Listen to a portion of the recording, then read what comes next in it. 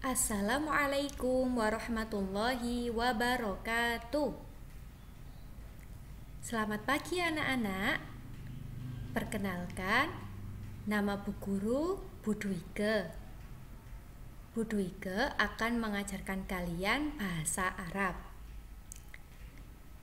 Nah, sebelum kita belajar, marilah kita membaca doa terlebih dahulu ila hadrati nabiyil mustafa rasulullah sallallahu alaihi wasallam wa ala alihi wa ashabihi wa dzurriyyatihi wa ahli baitihil kiram wa ila hadrati syekh Abdul Qadir Al-Jilani wa ila syekh Hasim Ash'ari wa ila muassis ta'limiyah Kebonsari wa asatidina wa talamidina wa walidina Al-Fatihah. A'udzu billahi minasyaitonir rajim بسم الله الرحمن الرحيم الحمد لله رب العالمين الرحمن الرحيم مالك يوم الدين إياك نعبد وإياك نستعين اهدنا الصراط المستقيم صراط الذين أنعمت عليهم غير المغضوب عليهم غير المغضوب عليهم ولا الضالين Amin. Bismillahirrahmanirrahim. Raditu billahi robba wa bil islami dina wa bi Muhammadin nabiyya wa rasula. Rabbi zidni ilma warzuqni fahma waj'alni min ibadika solihin. Amin. Lah, untuk pelajaran bahasa Arab kita hari ini kelas 1 yaitu tentang at-ta'aruf. Apa artinya at-ta'aruf? At-ta'aruf itu artinya perkenalan. Nah, kita hari ini akan belajar tentang perkenalan. Dimulai dari Bu Guru dulu ya. Perkenalkan nama Bu Guru Bu Dwike rumahnya di Malang, mengajar bahasa Arab. Seperti itu.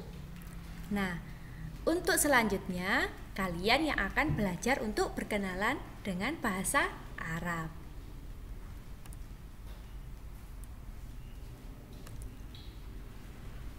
Coba kita lihat di situ gambarnya ada bu guru dan juga ada murid perempuan. Bu gurunya berkata, "Sobahul khair." Sobahul Khair artinya ucapan selamat pagi. Muridnya menjawab, Sobahun Nur artinya selamat pagi juga. Jadi, kalau Bu Guru bilang Sobahul Khair, kalian menjawabnya Sobahun Nur. Bisa ya? Coba sekali lagi. Sobahul Khair. Kalian menjawab apa? Pinter, sobahun nur. Kemudian bu gurunya bertanya, Kaifa halukum? Bagaimana kabar kalian? Muridnya menjawab, Alhamdulillah, ana bihoir wa afiyah. Alhamdulillah saya baik dan sehat walafiat. Coba nanti ya, kalau sudah masuk sekolah, Bu guru pasti menyapa kalian dengan sebutan yang tadi yang sudah kita pelajari. Coba sekali lagi. Sobahul khair. Kalian menjawabnya Sobahun nur. Kalau bu guru tanya lagi, Kaifa halukum? Kalian menjawabnya Alhamdulillah ana bi khair wa afiyah. Bisa ya? Alhamdulillah. Kita lanjut.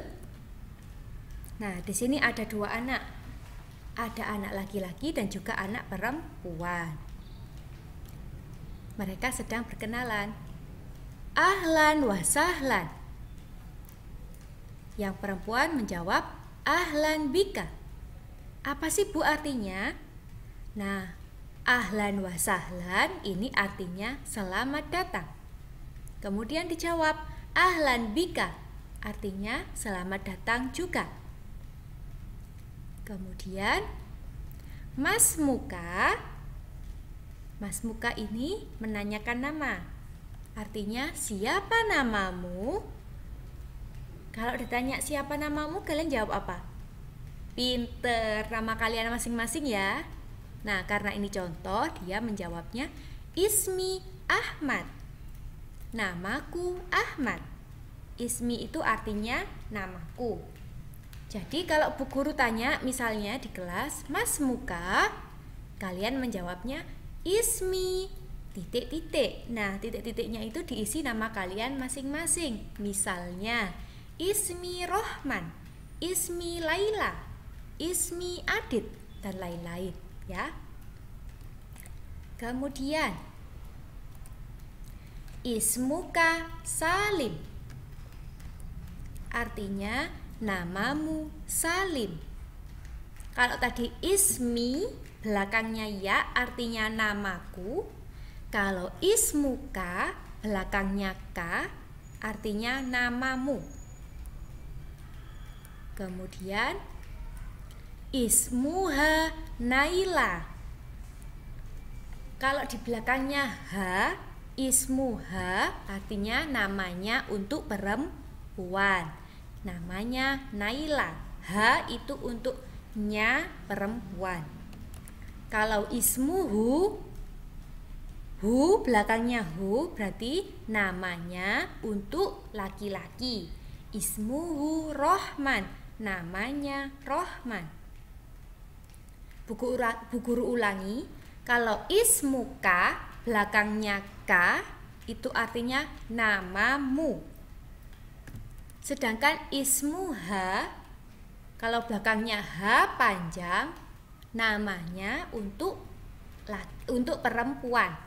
Ismuha Naila, Ismuha Siti, Ismuha Khadijah dan lain sebagainya. Sedangkan ismuhu hu itu untuknya ke orang laki-laki. Ismuhu Rohman, Ismuhu Muhammad, Ismuhu Ahmad dan lain sebagainya. Paham ya anak-anak? Alhamdulillah. Nah, coba kita baca dulu mufradatnya yang sudah kita pelajari tadi. Bismillahirrahmanirrahim. Ahlan wa sahlan. Selamat datang. Ahlan bika. Selamat datang juga. Mas Muka, siapa namamu? Ismi Ahmad. Namaku Ahmad. Ismuka Salim namamu Salim.